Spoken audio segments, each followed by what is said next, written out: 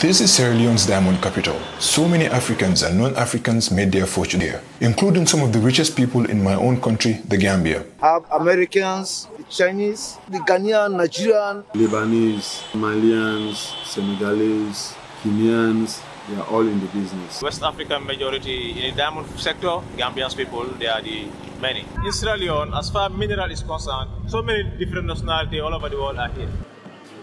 There are numerous diamond and gold offices in the city center.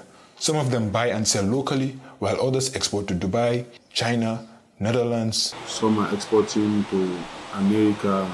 It depends where you have your business partner.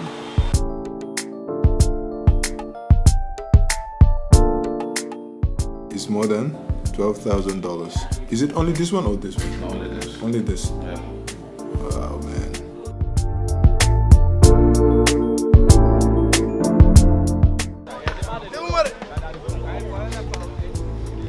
This is one out of many local gold mines in Kono.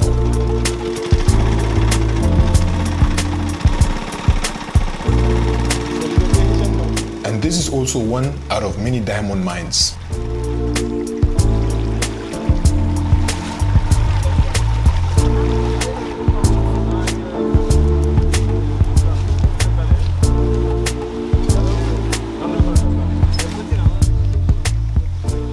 Obtaining diamond or gold requires a long and difficult process.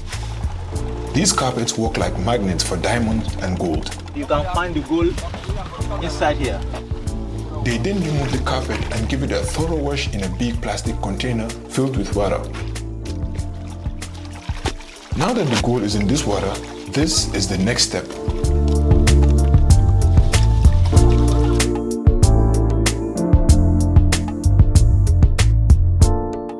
This shiny liquid that you are looking at is the gold. We are burning right now. You can see the can, the original color of the of the mineral. It brings out the true color once it's burnt. This is basically the process involved in obtaining gold in the local gold mines, and it is pretty much the same process in the diamond mines as well.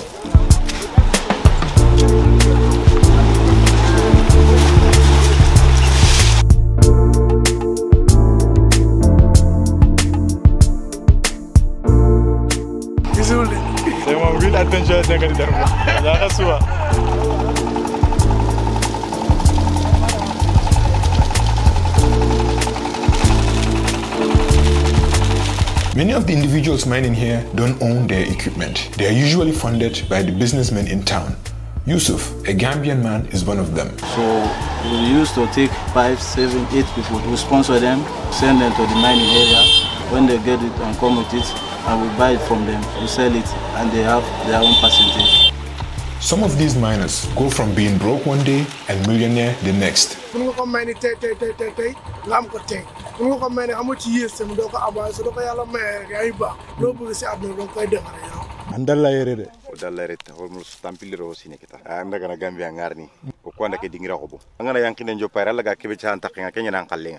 so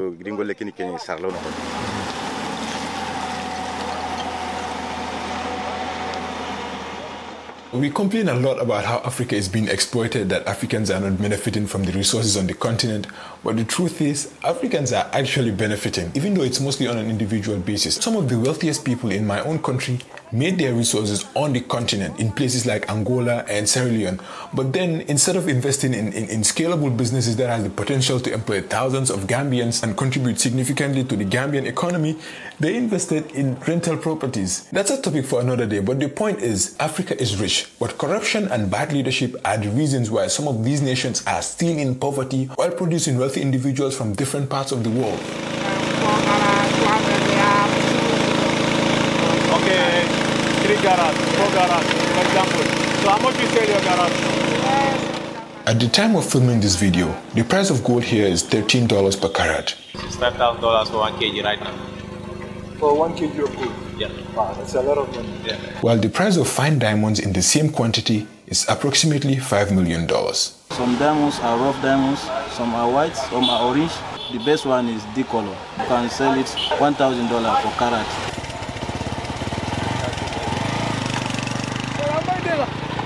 maa ngi wax ak yow nga may jaay freka na ko gisee Maurice is a Senegalese Sierra Leonean. His father was part of the early Senegambians who went to Sierra Leone to work in the diamond industry. I was born in Sierra Leone and grew up in Senegal also. I'm come back here. I enter into the mining sector for both gold and diamond for the past 20 years now. Okay, so tell me how what is the process like here? We have a large scale mining, we have a small scale mining. An explorational mining license is required in order to engage in large scale mining. Have you seen over there? A Chinese woman owns this exploration mine, and Koidu Holdings, a subsidiary of Octea Mining, owns another one. Octea mining is owned by different different nationality. The South Africans, the Russians, Americans. It's a joint stock company. The other type of license is the artisanal mining license. You don't need a lot of heavy equipment for this one. You can essentially start with an excavator. And then you have local miners.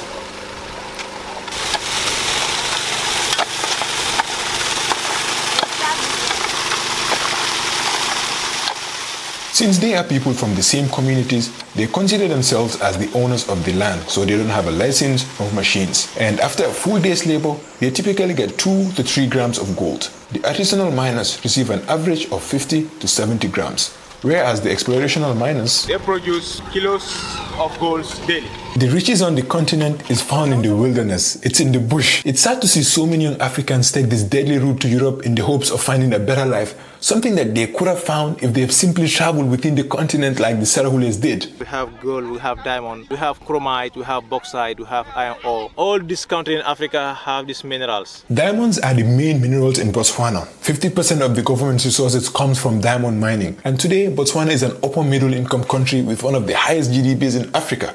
Why is Botswana experiencing success while other African nations are not? The simple answer is good leadership, sound government policies. What do you think? Share your thoughts in the comments below and if you found value in this video, subscribe to the channel. This Gambian brother prefers to stay anonymous. During my stay in Kono, he paid for all my expenses, my lodging, food, transportation, all the logistics involved in filming this video. I really can't thank him enough, but during the short time I spent with him, I saw people go in and out of his office with sums of money that I have never seen before in my life. And one thing that taught me was abundance. That's one of the lessons I learned from this trip. I don't know where the scarcity mindset of ours came from, but truly there's abundance of wealth in the world. There's enough for everyone. Just imagine, as you can see the hill, all this hill you can see as a gold. It's a gold reserve land, bro. And diamond as well, or diamond is another No, diamond is behind the hill. Imagine, diamonds were discovered in Sierra Leone in the 1930s, and since then, people have been mining here. And no matter how much they mine, they cannot finish the minerals. That reminds me of this ayah, al-bahru